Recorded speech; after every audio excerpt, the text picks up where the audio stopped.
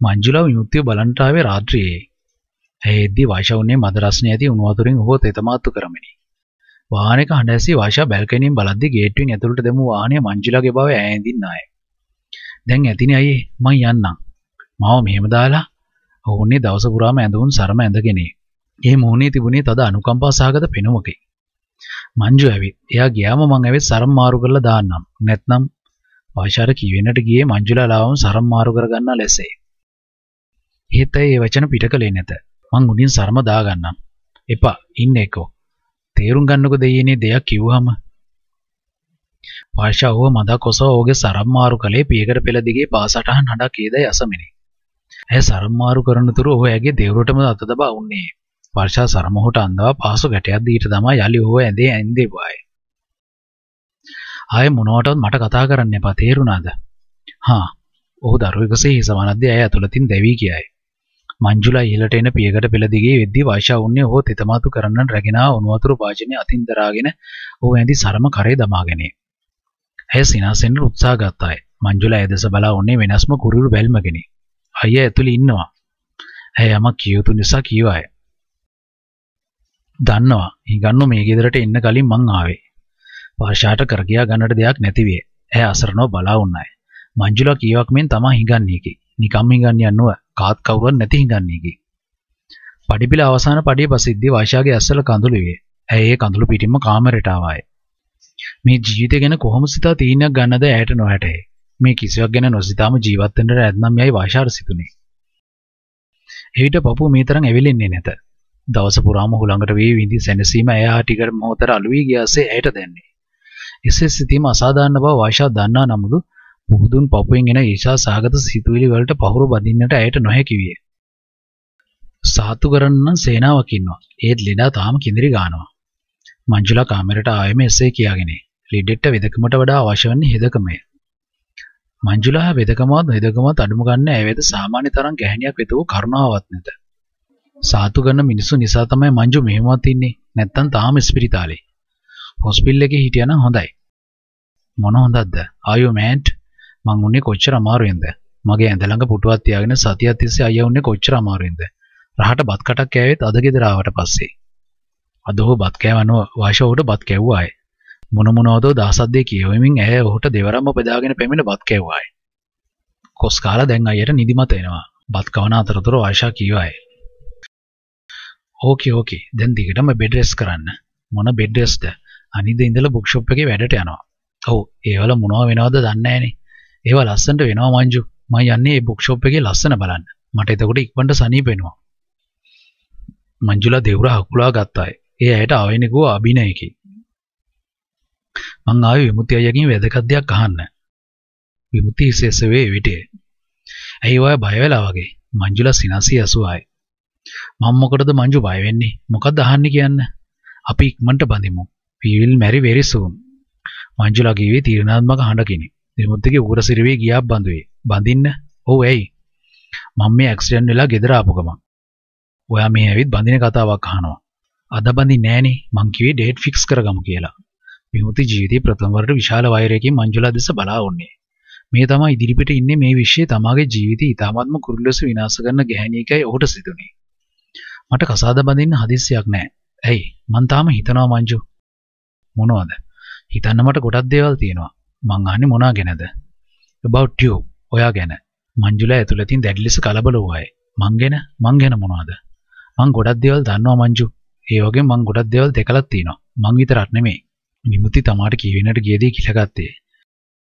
තම් ප්‍රශ්න වලට අන්නයි පාවා දිය යුතු නැත. දැකලා තියෙනවා මොනවද? මංජුලා කලබල වූ බව ඇගේ ඉරියව් වලින්ම පැහැදිලි වේ. ඇයි වාට මේ දාඩිය දාලා? ප්ලීස් විමුක්ති අයියා මොනවද මේ කියන්නේ? I want to marry you very soon.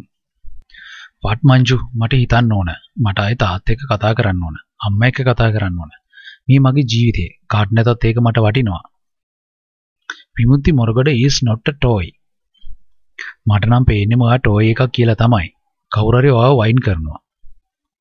ඔයා මං ගැන දන්නේ නැහැ මංජු. මාව එහෙම ලේසි පාසු කෙනෙකුට වයින් කරන්න බෑ. පුංචි කාලේ නම් මගේ අම්මා මාව හොඳට වයින් කළා.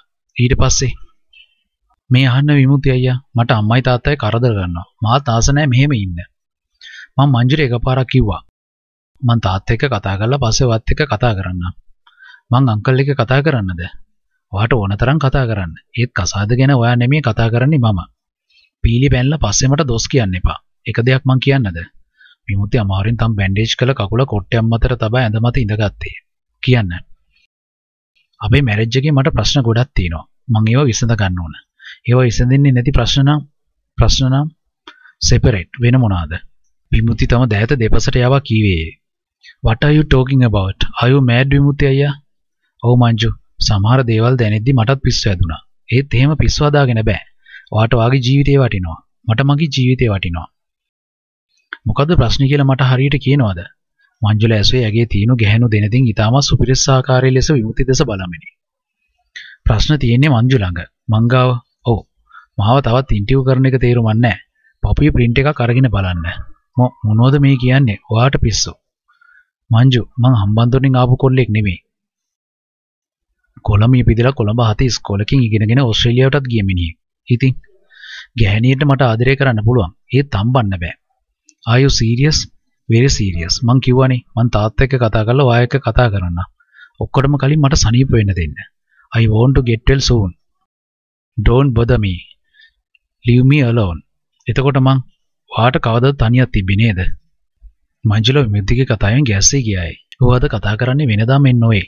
විමුක්ති තම ජීවිතය ගැන මොනවා හෝ බරපතල ලෙස දැනගෙන කතා කරතේ ඇය සැක්කලයි. මම මොනවද අම්මටයි තාත්තටයි කියන්නේ? Please give me answer. Then I can pass it my parents. අම්මා දන්නවා ඉතින් දුව ගැන. අමුතෙන් ආසස් ඕන නෑ. තාම පවුල තුළ සිදුවන අභ්‍යන්තර දේවල් ගැන ඔහු මෙලෙස ඉඟි කරන්නේ කෙසේද? අම්මා මොනවද මං ගැන දන්නේ? මංජු මට මහන්සි මං ලෙඩෙක්. I am a patient. Why don't you understand? ඕකේ මංජුලා දෙක සුසුමක් හෙළුවාය. මා සනීප වෙන්නකෝ. හැබැයි මට ඉක්මනට උත්තරයක් ඕන. මටත් උත්තර ඕන වෙයි. ආ එහෙමද? මංජුලා ඇස්සේ පුදුමේනි. ඉක්මනින් මෙතනින් පිටව යෑමේ තදබල ඕනකමකින් ඇය දැවී ගියායි. මංජුලා නිවසෙන් පිටව ගියේ මොරගඩ නිවසේ කිසිවෙකුත් සමග කතා නොකරේ. ඇය ගිය විගස විමුක්ති වේගවත් සුසුමක් කියලා ඇඳේ පෙරළුනේ. තත්ත්වය ඊටම් බරපතල බව ඔහු තේරුම් ගත්තේ. ඉක්මනින්ම විසඳුමක් නොගන්නේ නම් සිර වෙන්නේ තම හුස්ම ටිකේ.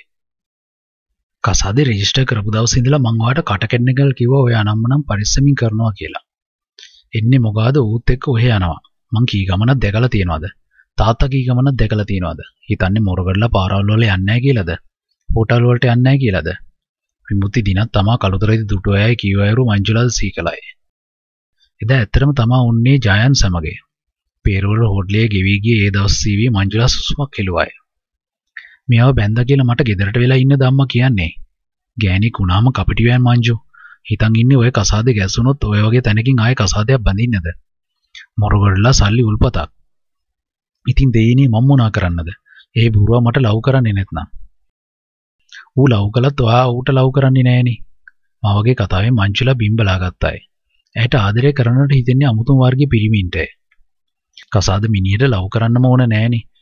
මගෙන් ගුණාර පහගන්න නැතුව ඉන්නවා පොඩි දුව. දැන් මොනවද මිනිහා කියන්නේ? තාත්තත් එක්ක මං ගැන කතා කරන්න තියනවලු. ඊට පස්සේ මගෙනුත් ප්‍රශ්න වගේක් අහන්න තියනවලු. හ්ම් හදාගෙන තියාගනින් උත්තර. මම මොකටද යාට උත්තර දෙන්නේ? තාම යා මගේ කවුරුත් නෙමේනේ. මට බැරිද මිනිහෙක්ගේ වාහනයක යන්න? මිනිහෙක් එක්ක හෝටලයක ලන්ච් ගන්න? පුළුවන්. උඹට තවත් ඒවා පුළුවන්. ඒත් ඌ ඒකට කැමති නැත්තම්. ඌ මං කැමතිව කරනවද? ඉස්සලා ගෑණි හැදෙන්න ඕන. අනේ නිකන් පිස්සු කියවන්න තු ඉන්නම් මේ මේ හාල්පාරු මොරගඩට ඕන විදියට මං හැදෙන්න. එහෙනම් ඌ ඌට හදාගන්න පුළුවන් ගෑණියෙක් ගනි. මට දැන්ටම සැකයි අර ගෙදර ඉන්න බඩ.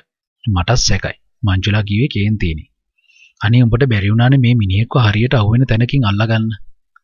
මංජුලාට කියවන්නට ගිය ගුණාරපේකි. ඇය තමාටම සිනාසේ ඒ ගිලගත්තේ. තාත්තට කියන්න අංකල් එක්ක කතා කරන්න කියලා. ඒක තමයි හරි. ඔව් මං අදම කියනවා. පුතාට ඕන විදිහට මහමිනියා නටන්නේ නැහැ. විමුක්තික අයියා බැඳලා. ඉන්න ගෑණිත් මහා අමුතු ගෑණියෙක්. ඒ බඩත් මට ඉච්චර කැමති නෑ. ඒකි මටත් ආස නෑ. මං තාත්තට කියන්නම්. හැබැයි අම්මේ මට බෑ ওই මිනිහාගේ ළඟ දණින් වැටෙන්න. මේ මිනිස්සු මගේ ළඟ දණින් වැටෙනවා. මම මෙයා ළඟ මොකට දණින් වැටෙනවද? ඔබ ළඟ මිනිස්සු දණින් වැටෙන්නේ අනේ මගෙන් කුණාර පහගන්න නැතුව ඵලයන් මංජු.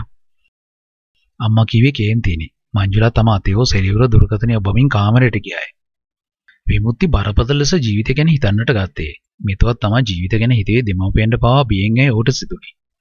විශේෂයෙන් තාත්තගේ හිත රිද්දන්න බැරි නිසා තම මුළු ජීවිතෙම රිදවා ගන්නට ඔහු සිතාගෙන උන්නේ.